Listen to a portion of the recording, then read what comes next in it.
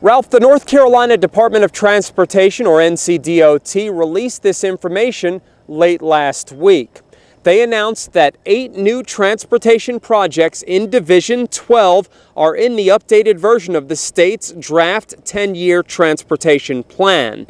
Division 12 includes Alexander, Catawba, Cleveland, Gaston, Iredell, and Lincoln counties. New additions in the area include the following projects in Catawba and Lincoln counties. The widening of I-40 from US 321 to Fairgrove Church Road in Catawba County. The widening of North Carolina 150 from North Carolina 16 to east of Greenwood Road in Catawba and Lincoln counties constructing an additional 600 feet of runway at the Hickory Regional Airport, and two projects to acquire land for a runway approach and to runway approach obstructions at the Lincoln County Airport.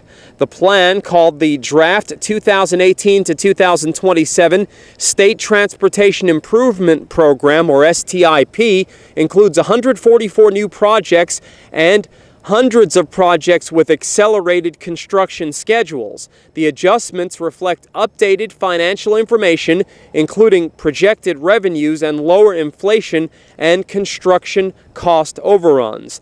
The plan was initially scheduled to be approved by the Board of Transportation at its June meeting, but approval was delayed to allow the department to update the document to reflect the changes. NCDOT will now hold a public comment period on the updated version of the document, and that's actually underway and will run through July 12th. If you would like to provide comments, contact Diane Wilson at pdwilson1 at ncdot.gov or 919 707 6073. The final 2018 to 2027 STIP is expected to be approved by the board in August.